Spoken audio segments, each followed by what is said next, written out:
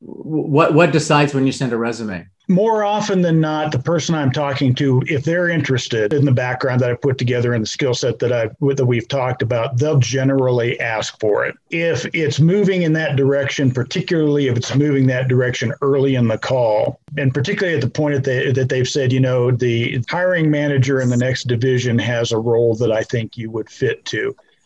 I generally come back with something like, well, would it be advantageous or would it help you if I sent you my resume? And almost always the answer is yes.